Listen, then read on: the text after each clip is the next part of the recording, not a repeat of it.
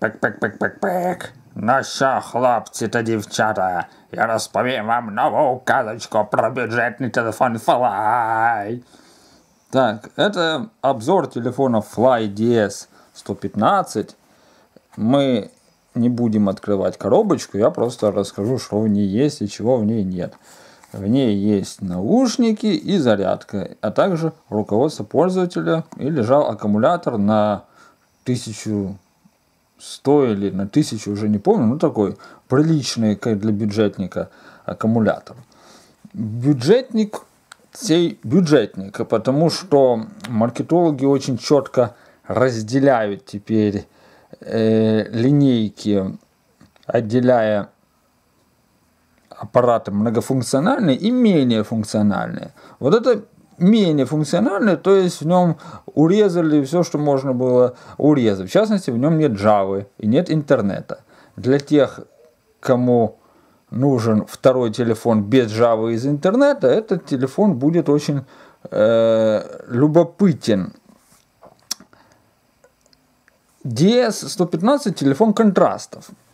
Сначала о плохом, но до того, как говорить о плохом, большая плюшка о хорошем, о чем я еще расскажу дальше. Это просто убийственный телефон для меломанов, если вас не пугает разъем гарнитуры, расположенный на торце. Вот меня он пугает. Мне неудобно носить в кармане джинс, и еще чтобы отсюда торчал даже э, разъем буквы Г. Но если вас это не пугает, то дождитесь той части обзора, где я буду говорить о положительных сторонах этого телефона. Давайте его включим, посмотрим. Вот такой вот дисплей.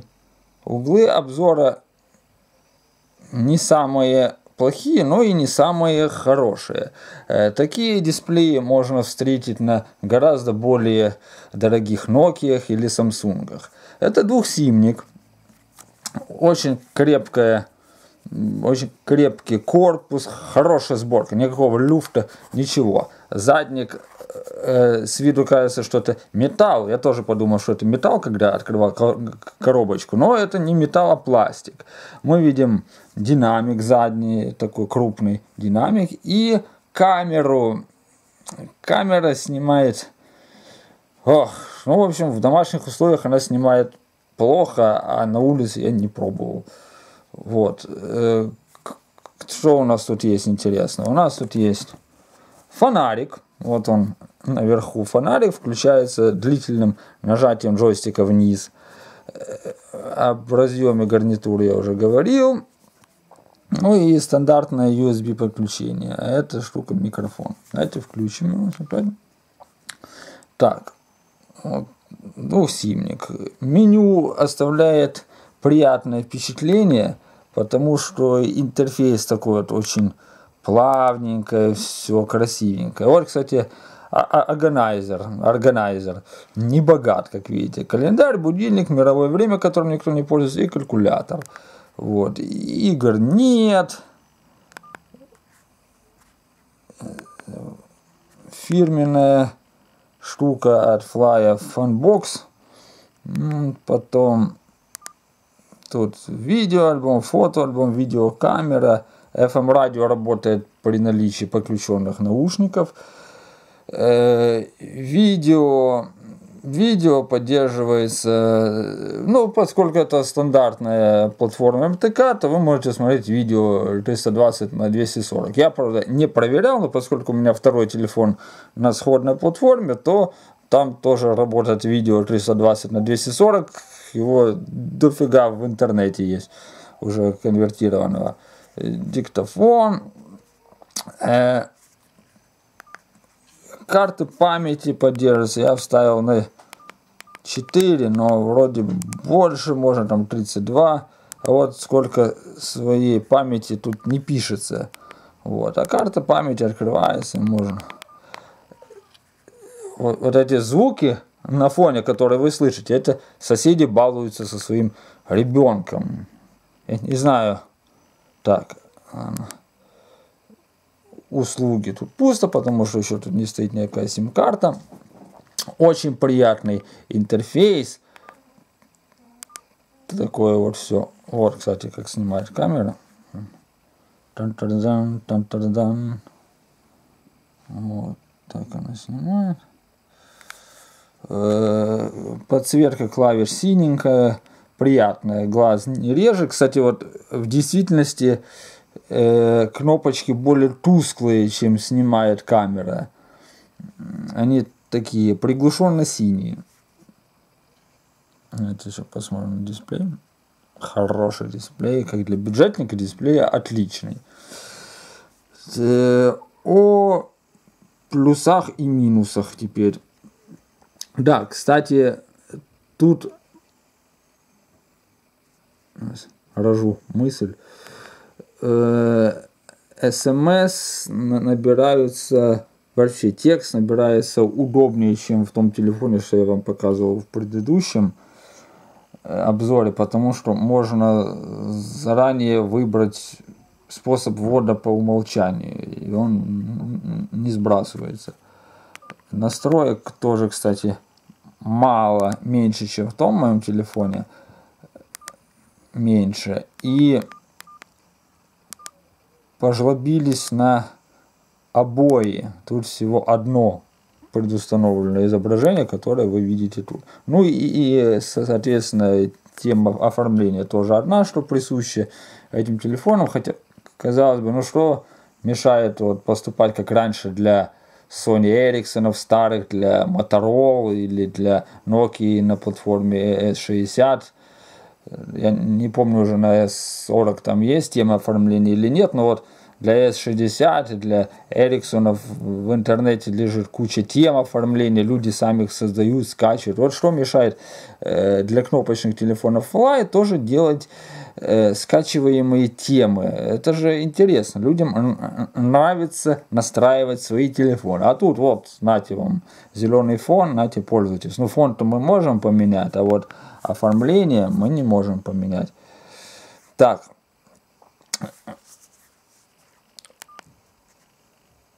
Ну, про видео я сказал, что можно смотреть видео благодаря кодеку mp4, в общем, файлы. Об аудиоплеере. Вот, кстати, это в продолжении и предыдущей, э, предыдущего моего обзора. Дело в том, что эти мобилы снабжены очень странным плеером. Плеер странный в том случае, что вот если мы идем в опции, настройки, есть пункт автосписок. Вот если он включен, то плеер автоматически сканирует карту памяти на предмет композиции mp и составляет из них список, но туда по какой-то причине попадают отнюдь не все песни, которые есть на карте памяти. Поэтому мы ставим автосписок на выкл.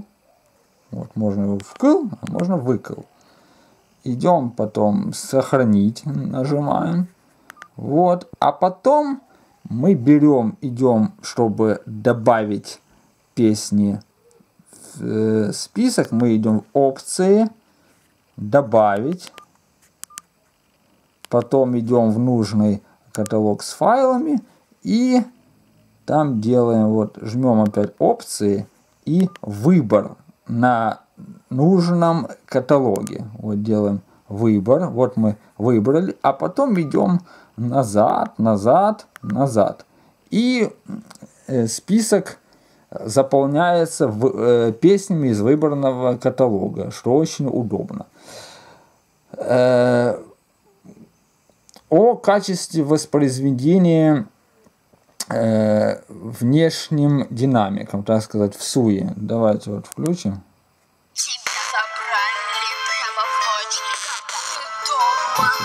Громче сделай.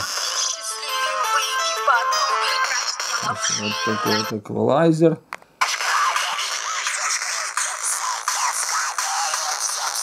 Это же еще группа климбатика.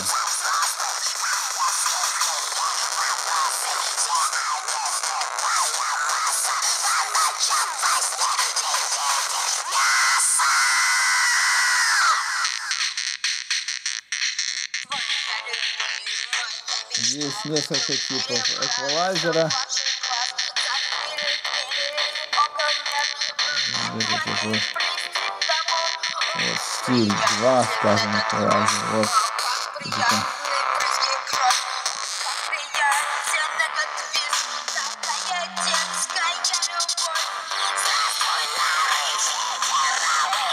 Давайте мы стиль эквалайзера включим. Один как бы.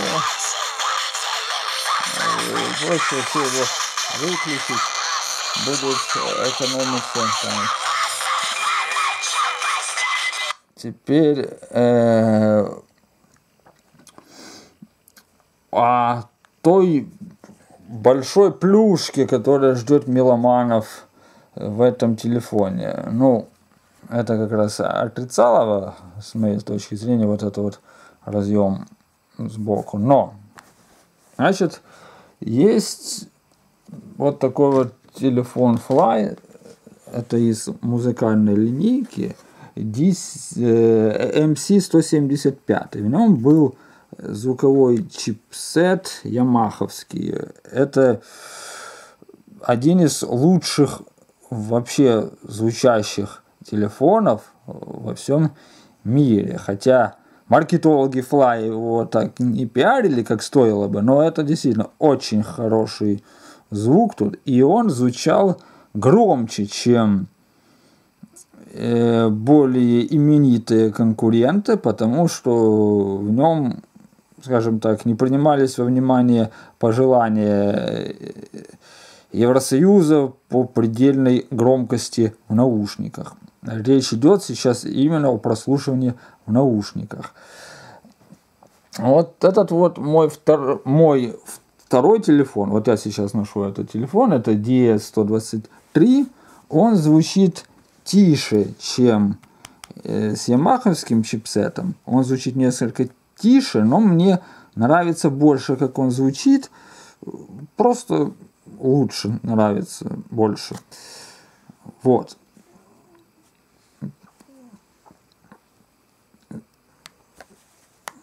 Для чего я их так располагаю?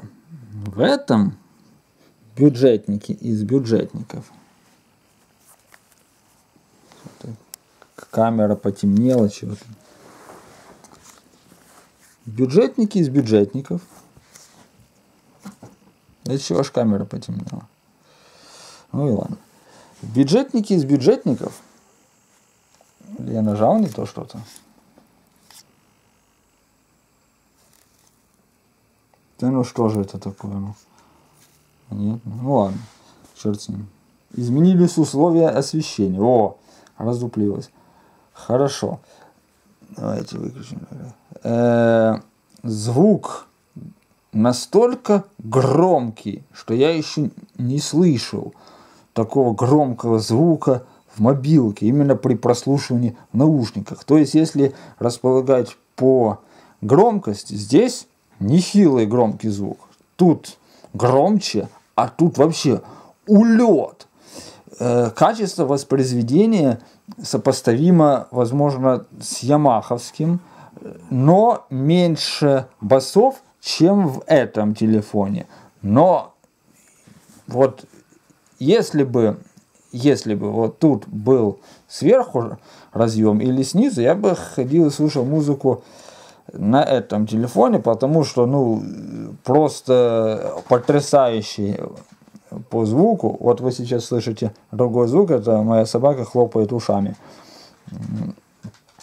Так что тем меломанам, которым нужен громкий звук и которых не пугает разъем сбоку, я советую брать этот телефон и использовать его даже как плеер, потому что э, плеера за такие деньги вы не купите, хорошего плеера, такого хорошего, а тут еще и телефон. Вот. Э, посмотрим, кстати, как фонарик светит. О, вот светит фонарик. Как в фильмах обычно показывают, когда луч от фонарика проходит в камеру, слышен такой звук.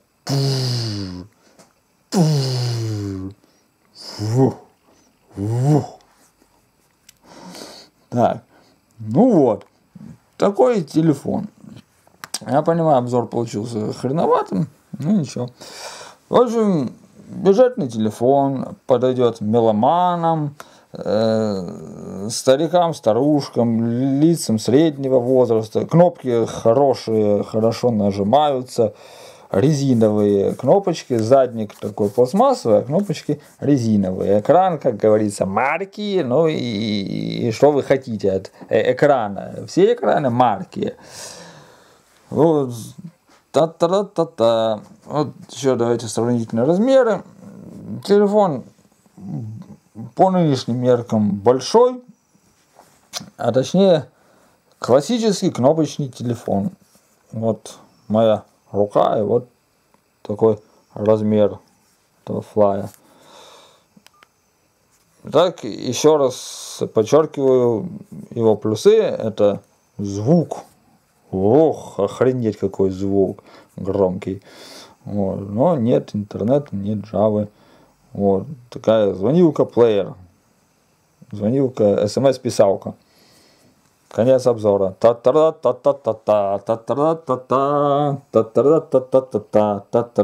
DS-115 Fly. Бюджетный телефон. А, тут есть Bluetooth. Вот, из средств связи. Bluetooth.